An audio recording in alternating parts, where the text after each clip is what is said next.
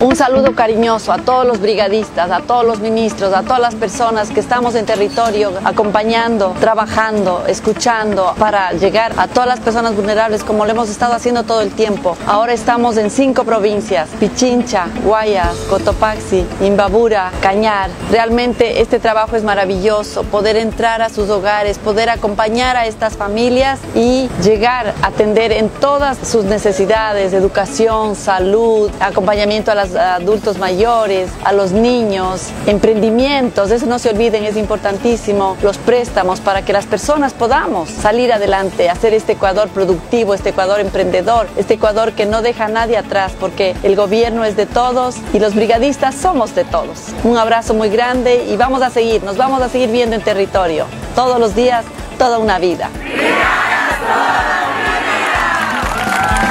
Toda una vida. El gobierno de todos.